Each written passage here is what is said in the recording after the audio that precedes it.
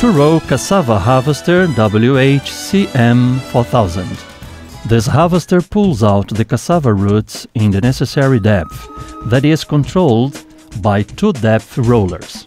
It separates the earth through conveyors and conducts the cassava to the awaiting lifter, standby carrier. After that, the cassava is distributed into lateral conveyors, where workers do the separation of the cassava from the remains.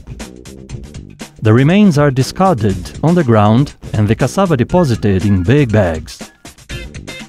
When full, the big bag is replaced by another one without being necessary to stop the machine, that is, without interrupting the harvest. Concerning the big bags, they are carried to the truck by a tractor equipped with a hoist.